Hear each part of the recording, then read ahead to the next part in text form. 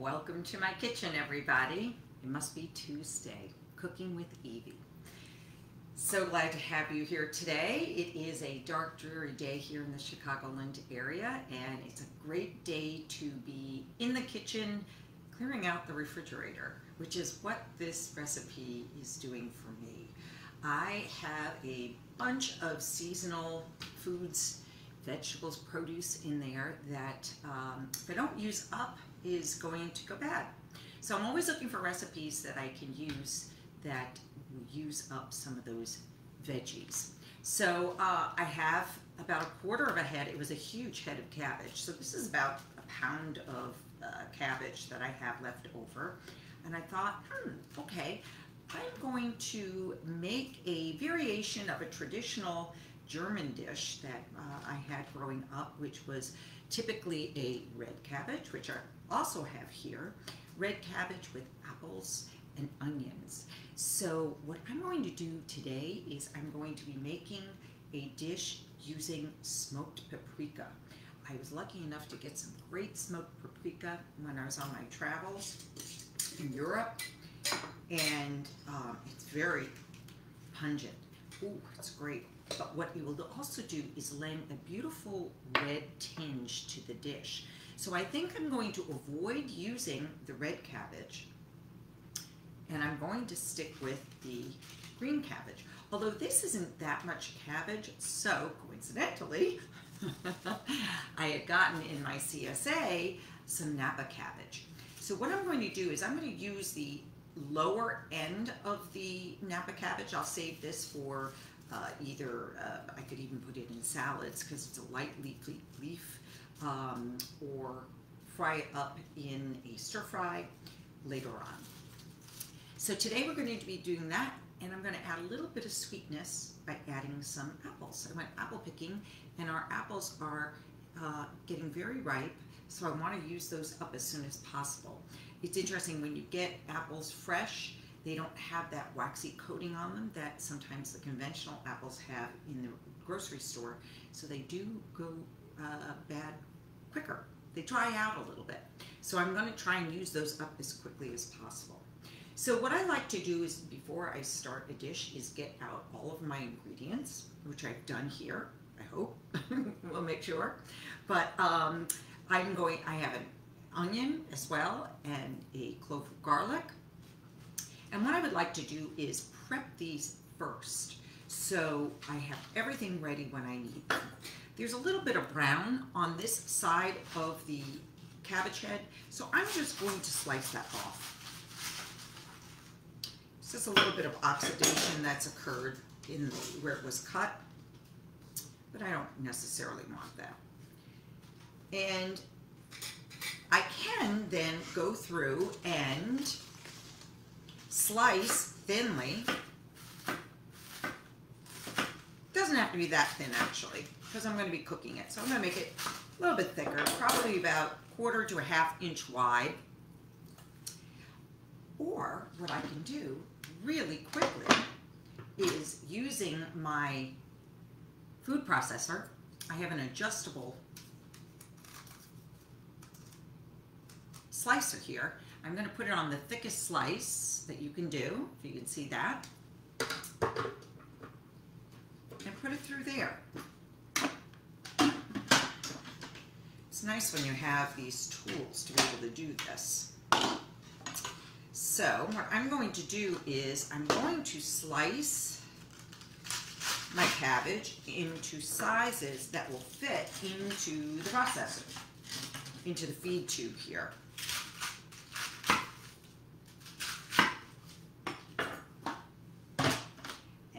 quick. That fast.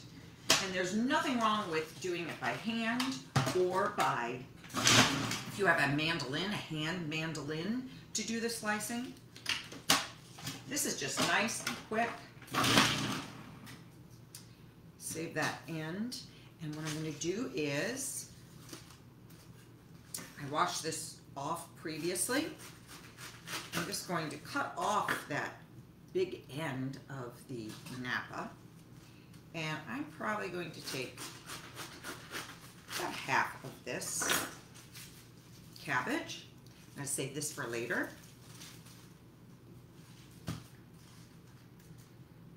And I'm gonna try and figure out how it's gonna fit into my feed tube. Let's see, what would be the best way? Uh, let's see. Let's see if this fits. That looks like it'll work. There you go. Right in. One, two, three. Easy. So me get these pieces in as well.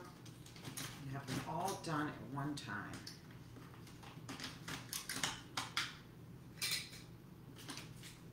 Go. All right. So it looks like I have, whoa, probably got six cups of cabbage here. I'm going to put in a bowl separately.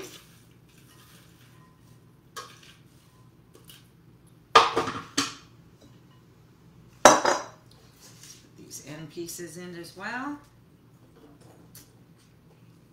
And uh, let's do our onion next since I have this set up right here. I'm going to, since I have this slicer here, I am going to use that to slice up my onion. I made it a little bit thinner, the slice, on, I'm giving it on four on my slicer here. And I'm just gonna cut off the tops and the bottoms of my onion. I'm going to find my lid, wherever I put it. All right, let's see if this fits in. Yes, I think it'll fit in nicely. All right. Now, if you wanted to, you could hand chop this. Since we're doing this in nice, long, slender slices, I thought we could also do the onions in slices as well. These actually turned out to be rings. I'm going to cut them in half so they don't stay as rings.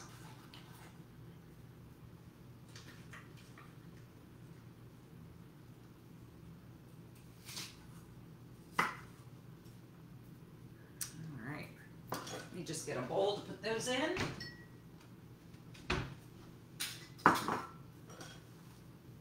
Ooh, that's a strong onion. Making me cry. All right. So we're done with slicing and dicing here. Well, not dicing, just the slicing part. There. So I can get rid of my food processor. Let's just get that out of the way. And I want to prep now my apples. So I've washed the apples beforehand, and I love the slicer because what it will do is it will cut everything in wedges and we'll get rid of the core right away.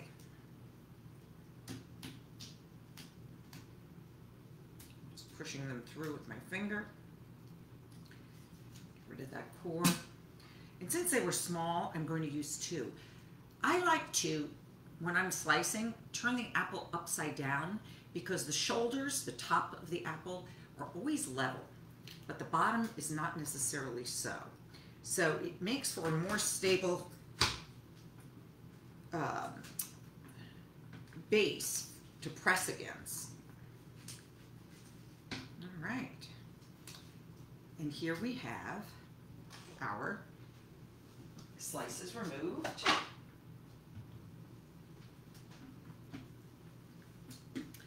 By the way, did you notice my friends visiting with me today? Got Mr. Skull over here and a little trio of, of friends for Halloween. All right, so what I'm gonna do is now I have these sliced as wedges. I'm just going to cut them across widthwise, what used to be their width, into diced pieces, uniform size diced pieces.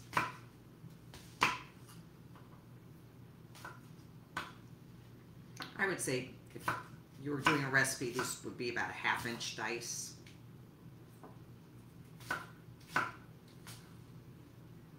And what the apples will do is it'll add a nice sweetness to the dish to contrast against that cabbage flavor. All right, and since I'm going to be sauteing my onion and my apple together, I'm gonna put them in the same bowl.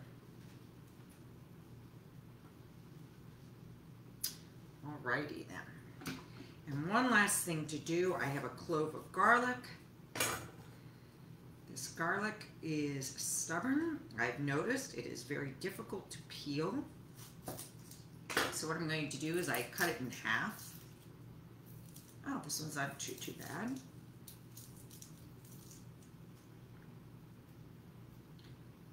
And peel, I'm peeling most of this that skin off. Then what I'm going to do is I'm going to smash the clove itself. And if there's any other skin attached, I'll be able to get rid of it then. Here, if you can see. Just going to take that off as we go. Excellent. And with this smash, I'm just going to mince it so I can throw it in to my dish.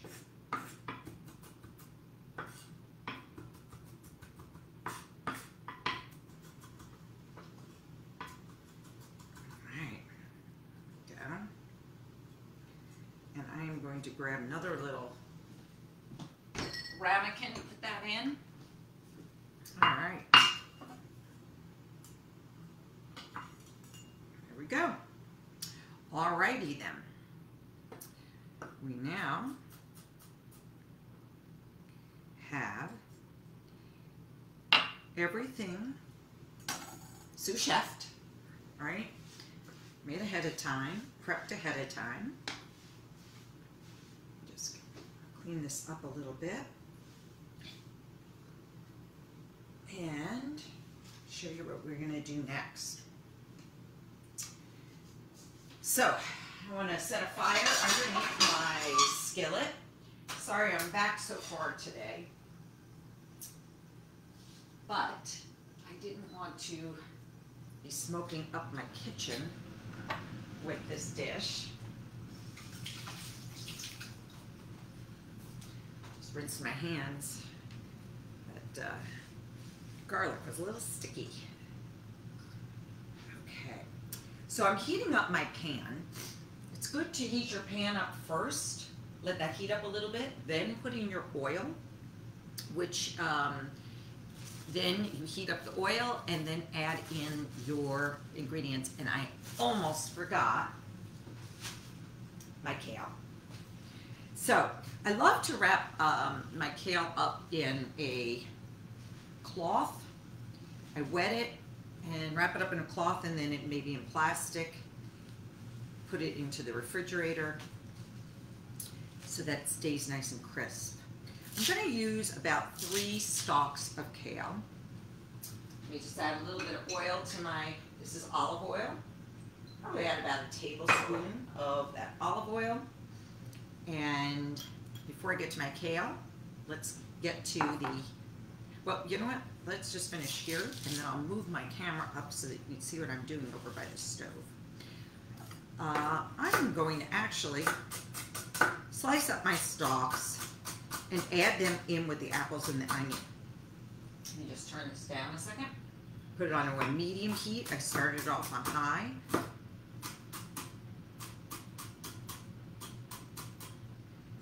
I like to use those stalks. They add flavor and a little bit of texture. So I'm actually going to throw that in.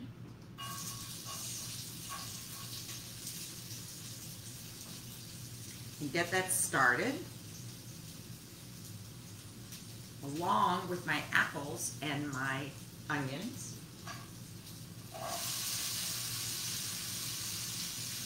And let those caramelize. What I want to do with this is I'm going to get the, the sugars caramelized, making them more flavorful.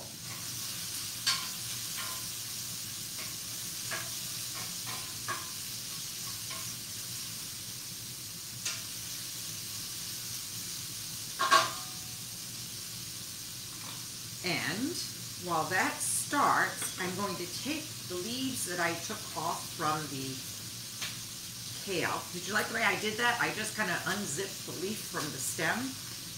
Makes it so easy to do. And I'm just going to give it a nice chop.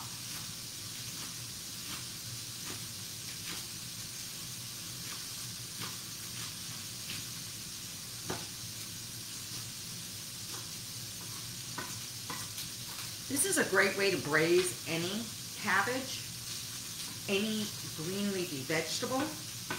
You can vary it up with any kind of spices that you have. Sometimes I just add in salt, pepper, and maybe um, jalapeno to my greens, I'll add those in. Um, sometimes red pepper flakes taste delicious. Me give my veggies here a stir.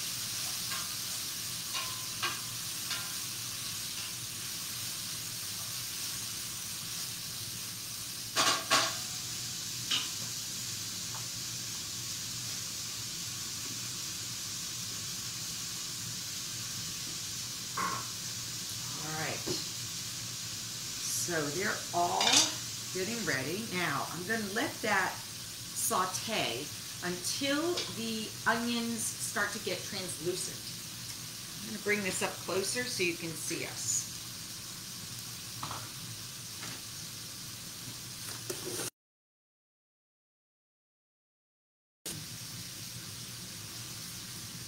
Yeah.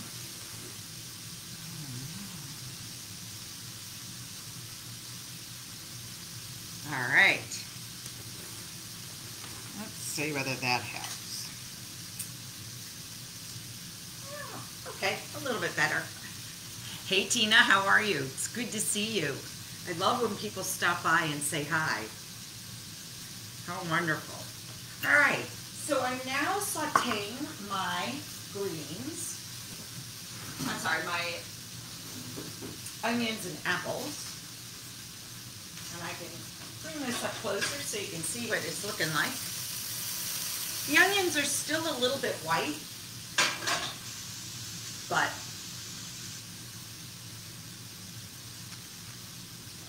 that's still fine. We're gonna let that saute one minute more. I'm gonna up the temperature on it a little bit since I'm keeping an eye on it now.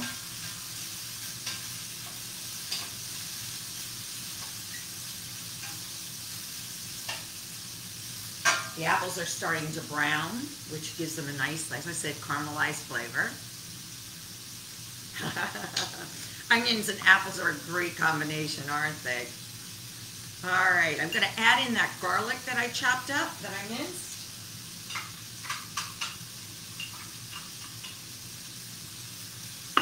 So glad to have you live, Tina.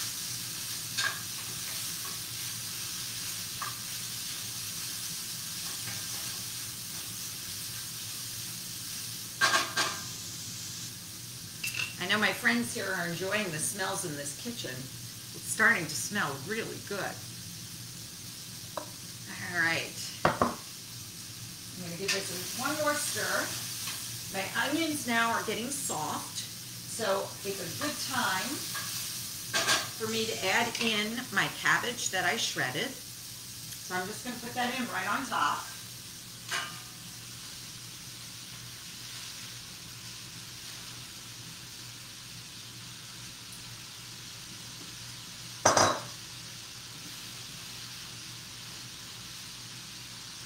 All right.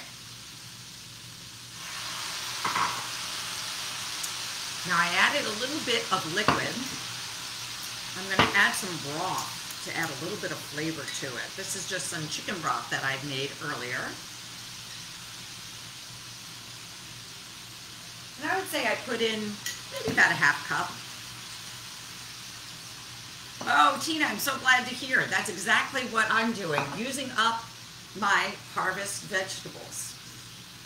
That's what was the inspiration for this dish.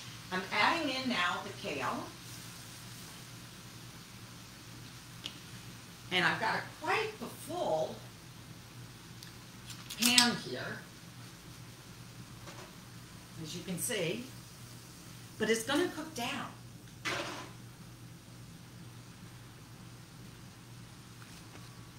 All right. So I've added in all of my vegetables now. Now I want to add in that wonderful seasoning. And this is a wonderful, as I said, smoky paprika. Now, if you don't want to do paprika, you could, uh, as I said, you can put in red pepper flakes.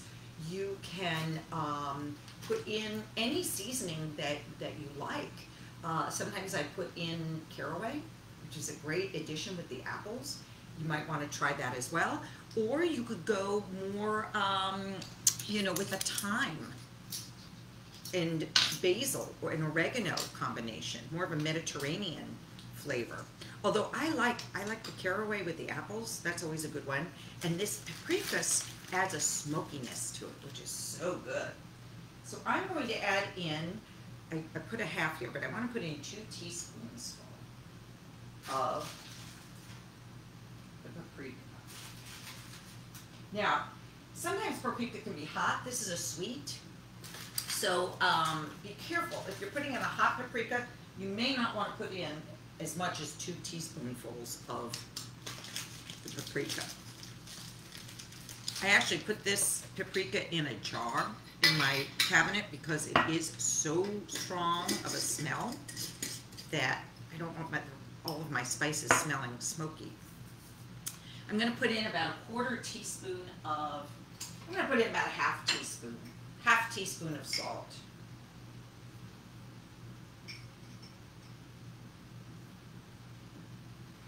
And I'm going to put in some fresh ground pepper as well.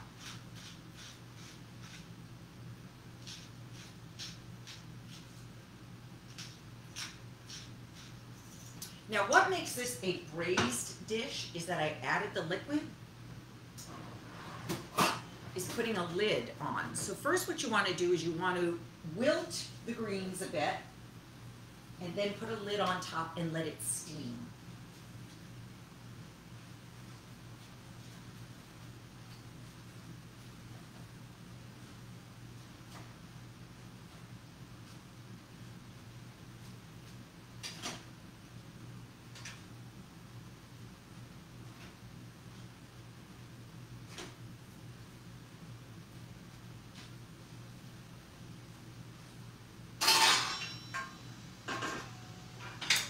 Show, see what's going on here. Sorry, I don't have one of those great mirrors that you can look up. So you can see it's wilting, it's coming down, it's smaller. It's fitting into that pan a lot better. I put my, uh, start, oh, here. I was looking for my spatula. All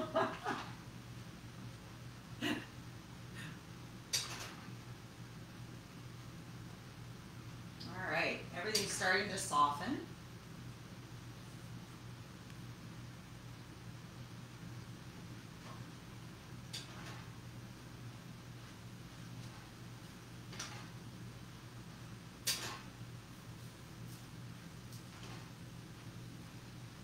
Oh, yes. This is what we want to happen.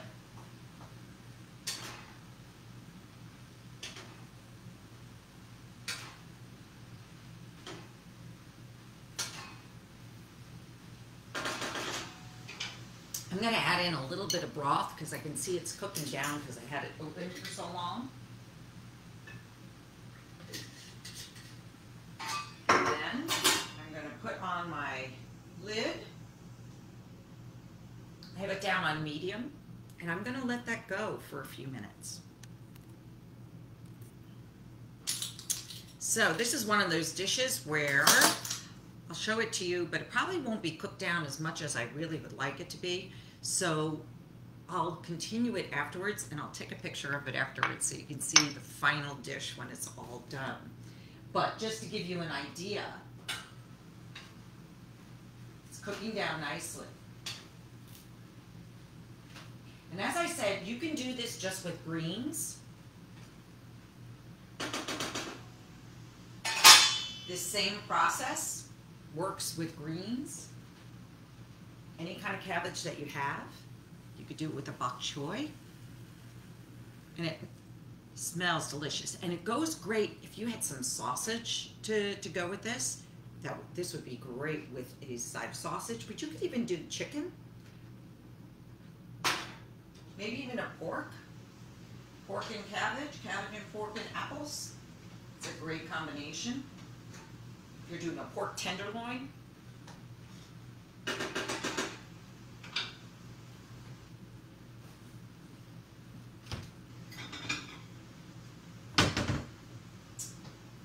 So, let me just serve it up so you can take a look.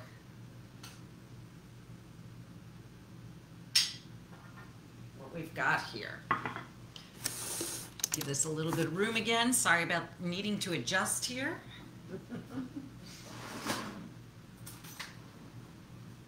but here you have it.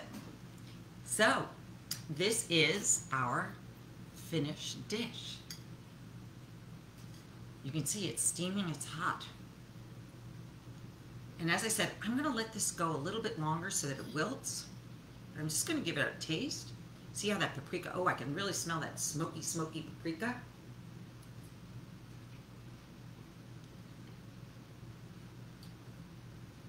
Oh, that is fun. Oh my goodness.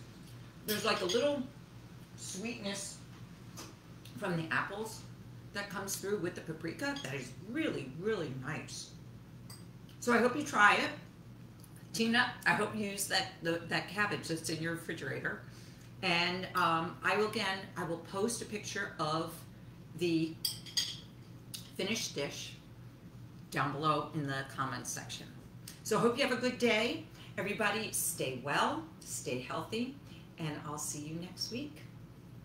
Bye, all. Thanks for stopping by.